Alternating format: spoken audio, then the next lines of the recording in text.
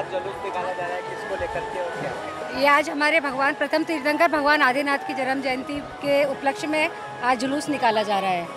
आप इसमें भाग ले रही जी हमारा पूरे ब्राह्मी महिला मंडल है। हमने कल बधाई गीत भी गाए थे।